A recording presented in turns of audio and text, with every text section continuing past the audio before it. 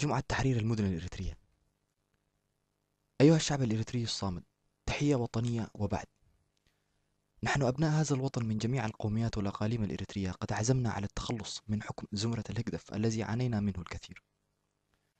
نحن واثقون بأن قوة الحراك المتمركز في الحدود الإريترية وفي كل أنحاء العالم سوف يحقق أهدافه في فترة وجيزة.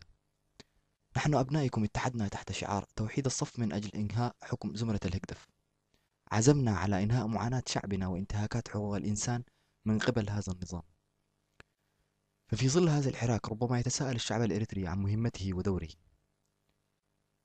لقد مضى عقدين من الزمان منذ أن تم اختطاف الاستقلال الذي دفعت من أجله الغالي والنفيس وضحيت بأغلى ما تملكه من أبنائك الشرفاء لتحقيق النصر. لقد تم اختطافه من قبل مجموعة صغيرة لم تحقق لك أبسط الحقوق العامة. حقا إنك شعب صبور. ولم تفقد الأمل في سبيل تحسن الأمور ولكن طال الزمان والمحن ازدادت سوءا. تدهور الوضع الاقتصادي وأصبح الشعب الإريتري في ذيل القائمة وأصبحت بلادنا معزولة تماما.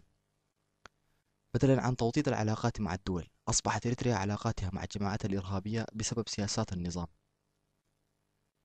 عندما نشاهد النظام وهو يقوم بتفكيك وحدتنا التي هي رمز شعبنا من أجل البقاء في السلطة فهذا مؤشر على هدفه لإبادة الشعب والوطن. لا يزال شبابنا يفر من وطنه وذلك تفاديا لحملة العبودية التي تمارس تحت مسمى الخدمة الوطنية. وتزداد معاناتهم والمخاطر مع بداية رحلتهم من أرض الوطن. يضربون بالرصاص من قبل إخوانهم عند عبورهم الحدود أو يتم القبض عليهم أو اختطافهم من قبل جماعة البدو في شبه جزيرة سيناء المصرية التي تربطها علاقات مع النظام الهكدف وتباع أعضائهم أو يقتلون أو يموتون غرقا في أعماق البحار وجوعا وعطشا في الصحاري. هذه الأخبار تتكرر يوميا على وسائل الإعلام. فهل يجب علينا السكوت على مثل هذه المعاناة والاستبداد أم أن نقاوم كما قاومنا الاستعمار بالأمس لإزالة هذا الاستبداد للأبد؟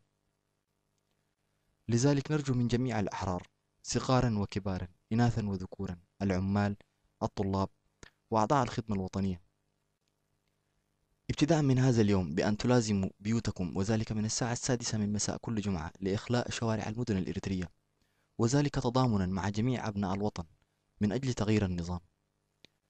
إذ استطعنا إخلاء الشوارع في كل جمعة فحتما بإمكاننا تغيير زمرة الهكدف في الغد القريب.